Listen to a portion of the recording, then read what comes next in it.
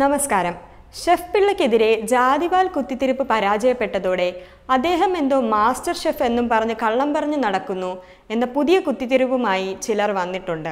സ്വന്തം ജാതിവാൽ ഒരു പേര് പോലെ കൊണ്ടു നടന്ന മൂന്ന് കമ്മ്യൂണിസ്റ്റ് മുഖ്യമന്ത്രിമാർ ഉള്ള സംസ്ഥാനത്ത് ഒരു നിർദോഷിയായ ഷെഫിനെ ഇവർ തിരഞ്ഞെടുത്ത് ആക്രമിക്കുന്നത് എന്തുകൊണ്ടാകാം? ഒരു ഫാമിലി സ്റ്റാറായ സുരേഷ് ഗോപിയും ഹിറ്റ് മേക്കർ ജോഷിയും ക്രിസ്ത്യൻ പശ്ചാത്തലത്തിൽ എടുക്കുന്ന സിനിമയാണ്. ഇവരൊക്കെ വിജയിക്കുന്നതും സിനിമകളിലെ ഹിന്ദു ക്രിസ്ത്യൻ പശ്ചാത്തലങ്ങളും ഇപ്പോൾ ചിലർക്ക് സുഖിക്കുന്നില്ല. അതുപോലെ വലിയ ഡീഗ്രേഡിംഗ് നേരിടുന്ന മോഹൻലാലിനെയും ഉണ്ണി മുകുന്ദിനെയും നമ്മൾ കണ്ടു. ഇങ്ങനെ ചിലർ എന്തു വില കൊടുത്തും ഡീഗ്രേഡിംഗ് ചെയ്യാൻ ശ്രമിക്കുന്നത് എന്തുകൊണ്ടാകാം? നമ്മളെല്ലാവരും പോപ്പുലർ ഫ്രണ്ടുകാരുടെ വിഷൻ രണ്ടായിരത്തി നാൽപ്പത്തേഴ് കണ്ടിരിക്കും. ആ വിഷൻ നടക്കണമെങ്കിൽ അന്യമത പശ്ചാത്തലങ്ങൾക്ക് ഡിമാൻഡ് ഉണ്ടാകാനോ അവരിൽ ആ മൂല്യങ്ങൾ ഉയർത്തിപ്പിടിക്കുന്നവർക്ക് അഭിവൃദ്ധി ഉണ്ടാകാനോ പാടില്ലല്ലോ. അതിനായി ഇവർ ആളുകളെ റിക്രൂട്ട് ചെയ്യുന്നതിനുപരിയായി മാധ്യമ സാംസ്കാരിക മേഖല ഉപയോഗിച്ച് ചില നറേറ്റീവുകൾ സെറ്റ് ചെയ്യുകയാണ് ചെയ്യുന്നത്. അവർ വിശ്വസിക്കുന്ന നറേറ്റീവ് എന്താണോ അതാണ് ഒരു സോഫ്റ്റ്വെയർ പ്രോഗ്രാമിംഗ് പോലെ അവരെ കൊണ്ട് ഓരോന്ന് ചെയ്യിക്കുന്നത്. മനുഷ്യരെ നയിക്കുന്ന ഈ പ്രോഗ്രാമുകളെ അഥവാ നറേറ്റീവുകളെ നിയന്ത്രിക്കാനാണ് മതങ്ങൾക്കും പിന്നീട് രാഷ്ട്രീയ പാർട്ടികൾക്കും ചിലർ രൂപം നൽകിയത്. ആത്യന്തികമായി ലോകത്ത് സമാധാനമാണ് വേണ്ടതെന്ന കാര്യത്തിൽ നമുക്ക് സംശയമില്ലല്ലോ. അപ്പോൾ ഏതൊക്കെ മതത്തിന്റെ ഏതൊക്കെ രാഷ്ട്രീയത്തിന്റെ നറേറ്റീവുകൾ നമുക്ക് ഒരു രാജ്യമെന്ന രീതിയിൽ യോജിച്ച് നിൽക്കാൻ വിഘാതമുണ്ടാക്കുന്നുവോ? അതൊക്കെ ഉപേക്ഷിക്കാൻ മനുഷ്യരെ പ്രേരിപ്പിക്കേണ്ടതുണ്ട്. പക്ഷേ ഇത് പലർക്കും പല ശരികളാകും. അതുകൊണ്ട് നറേറ്റീവുകളുടെ സംഘടനം നമുക്ക് ഒഴിവാക്കാനാവില്ല. ഒഴിവാക്കി എല്ലാം സുന്ദരമാക്കാം എന്ന ചിന്ത തന്നെ ഉട്ടോപ്യനാണ്. അതിനാൽ നമ്മുടെ ഏറ്റവും ലളിതമായ ശരി നമ്മളായി നമ്മുടെ ഇഷ്ടങ്ങളിൽ നമ്മുടെ വിശ്വാസങ്ങളിൽ നിൽക്കുക എന്നത് മാത്രമാണ്. ഹിന്ദുമതം എന്നൊരു എഴുതപ്പെട്ട മതം ഇല്ലാത്തതുകൊണ്ടും അനേകം മതസ്വഭാവമുള്ളതോ അല്ലാത്തതോ ആയ ദർശനങ്ങളുടെയും സമുദായങ്ങളുടെയും കൂട്ടായ്മ ഒരു സംസ്കാരം ആയതുകൊണ്ടും അത് പരിഷ്കരണത്തിന് എളുപ്പം വിധേയമാകുന്നതാണ്. എന്നാൽ എഴുതപ്പെട്ട നിയമാവലികളുള്ള സെമിറ്റിക് മതങ്ങളിൽ അത് ബുദ്ധിമുട്ടാണ്. എല്ലാവരെയും ഹിന്ദുക്കളാക്കണമെന്ന നിർബന്ധം ഹിന്ദുക്കൾക്കില്ലെങ്കിലും എല്ലാവരെയും തങ്ങളുടെ ദൈവത്തിന്റെ അടിമകളാക്കണമെന്ന നിർബന്ധം സെമിറ്റിക് മതങ്ങൾക്കുണ്ട്. അപ്പോൾ നമ്മുടെ ശരിയിൽ നിൽക്കാൻ സെമിറ്റിക് മതങ്ങൾ സമ്മതിക്കാതെ വരുന്നു. അതിനായി നറേറ്റീവുകൾ അവരിലെ പുരോഹിത മത ഇറക്കുന്നു. അതൊരു ബിസിനസ് ആകുന്നു. അങ്ങനെയുള്ള ഒന്നാണ് ഇസ്ലാമിസ്റ്റുകളുടെ വിഷൻ രണ്ടായിരത്തി നാൽപ്പത്തിയേഴ് അവർ ആ വിഷൻ ഭൗതികമായും സാംസ്കാരികമായും മുന്നോട്ട് വെച്ച് വളരെ ദൂരം മുന്നോട്ട് പോയതിന്റെ ഫലമാണ് കമ്മ്യൂണിസ്റ്റ് കോൺഗ്രസ് രാഷ്ട്രീയങ്ങൾ അവരുടെ ചൊൽപ്പൊടിക്ക് നിൽക്കുന്നത്. ഒപ്പം ഹിന്ദുക്കളെ എന്നും ജാതി തിരിഞ്ഞ് അടിച്ചു നിർത്താനുള്ള നറേറ്റീവുകളും അവർ സോഷ്യൽ മീഡിയ ഉപയോഗിച്ച് പുഷ് ചെയ്യുന്നു. അതിന്റെ ഭാഗമായി നാരദൻ എന്ന സിനിമയിലൂടെ ആഷിഖ് അബു ജാതിവാലിനെ അറ്റാക്ക് ചെയ്തു തുടങ്ങുന്നു.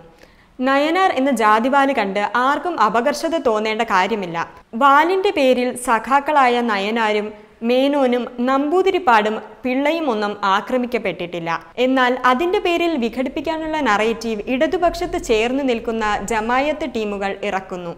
നമ്മൾ അതേറ്റെടുത്ത് പരസ്പരം അടിക്കുന്നു. സുരേഷ് ഗോപി സംഘരാഷ്ട്രീയം ഏറ്റെടുത്ത ആളാണ്. എന്നാൽ മോഹൻലാൽ നായർ എന്ന് വിളിച്ച് അതേ മോഡലിൽ സവർണത സിനിമയിൽ പറഞ്ഞ മമ്മൂട്ടിയേക്കാൾ അധികം ആക്രമിക്കപ്പെടുന്നു.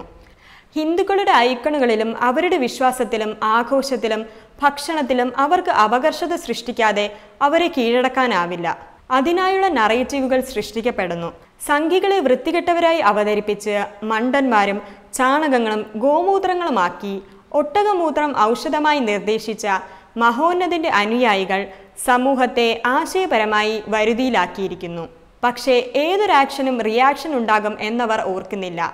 എല്ലാ റിയാക്ഷനെയും കൊന്നുതള്ളി നിശബ്ദമാക്കുന്നതല്ലാതെ വേറൊരു രീതി ഇവർക്കില്ല. ഇവരാൽ അകാരണമായി ആക്രമിക്കപ്പെടുന്ന മുസ്ലിങ്ങൾ ഉൾപ്പെടെയുള്ള മനുഷ്യർക്ക് പിന്തുണ നൽകിയും കൂടുതൽ സംവാദങ്ങൾ സൃഷ്ടിച്ചും മാത്രമേ നമുക്ക് പോപ്പുലർ ഫ്രണ്ട് വിഷൻ രണ്ടായിരത്തി നാൽപ്പത്തേഴ് തകർക്കാൻ കഴിയൂ. ഒപ്പം അവർ നശിപ്പിക്കാൻ ശ്രമിക്കുന്നത് എന്തൊക്കെ ആരൊക്കെ എന്ന് ഐഡന്റിഫൈ ചെയ്ത് അതിനെയൊക്കെ വീണ്ടെടുക്കുകയും അവരെയൊക്കെ പിന്തുണയ്ക്കുകയും വേണം. അതിപ്പോൾ കമ്മ്യൂണിസ്റ്റുകാരനാണെങ്കിലും അകാരണമായി ഹിന്ദുവോ ക്രിസ്ത്യനോ ആയതിന്റെ പേരിൽ ഇവരാൽ ടാർഗറ്റ് ചെയ്യപ്പെടുകയാണെങ്കിൽ പിന്തുണയ്ക്കണം. അവർ നശിപ്പിക്കാൻ ശ്രമിച്ച് കളിയാക്കുന്ന നമ്മുടെ ആഘോഷങ്ങൾ പൂർവാധികം ഭംഗിയായി ആഘോഷിക്കണം. ഇല്ലാതാക്കാൻ ശ്രമിക്കുന്ന ഭക്ഷണ സംസ്കാരം വീണ്ടെടുത്ത് മാർക്കറ്റ് ചെയ്യണം. സ്വയം ബ്രാൻഡിംഗ് ചെയ്യാൻ ഓരോ ഹിന്ദുവും തയ്യാറാകണം. ഈ പോപ്പുലർ ഫ്രണ്ടുകാരെയും ജമായത്തെ ഇസ്ലാമിക്കാരെയും ഇതിന്റെ പേരിൽ വെറുത്തിട്ട് കാര്യമുണ്ടെന്ന് തോന്നുന്നില്ല. വർഷങ്ങൾക്ക് മുമ്പേ സെറ്റ് ചെയ്യപ്പെട്ട ഇന്ത്യയെ കീഴടക്കാനുള്ള ഗസ്വ ഇ ഹിന്ദ് എന്ന നറേറ്റീവ് വിശ്വസിച്ച് പോയവരാണിവർ. സ്വാതന്ത്ര്യ സമരത്തിൽ പങ്കെടുക്കാതെ സ്വാതന്ത്ര്യം കിട്ടിയപ്പോൾ രാജ്യത്തെ മൂന്നായി മുറിച്ച് മൂന്നിൽ രണ്ട് ഭാഗങ്ങൾ നേടി ആ പ്രദേശങ്ങളിൽ ഹൈന്ദവ ഉന്മൂലനം നടത്തിയിരുന്നതിൽ അവർ വിജയിച്ചിരുന്നു. ബംഗ്ലാദേശിൽ ലക്ഷങ്ങളെ കൊന്ന ജമായത്തെ ഇസ്ലാമി ഇന്ത്യയിൽ വേറെന്തിനോ പ്രവർത്തിക്കുന്നു എന്ന് കരുതുന്നവർ മൂഢന്മാരാണ്.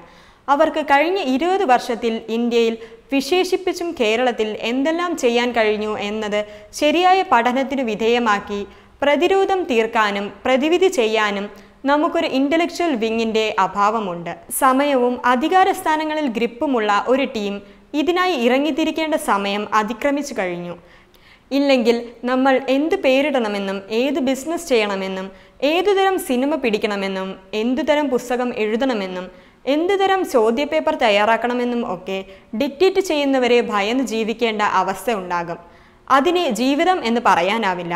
അതിനാൽ ലഭ്യമായ പ്ലാറ്റ്ഫോമുകളിൽ നാം ഓരോരുത്തരും നമ്മളാൽ കഴിയുന്ന രീതിയിൽ ഇവരുടെ തന്ത്രങ്ങൾ പ്രതിരോധിക്കാൻ മുന്നോട്ടിറങ്ങണം. അവർക്ക് അനുകൂലമായി എഴുതുന്നവർക്കുള്ള അവഗണനയും നമുക്ക് അനുകൂലമായി എഴുതുന്നവർക്കുള്ള ഒരു ലൈക്ക് പോലും ഒരു പ്രതിരോധമാണ്.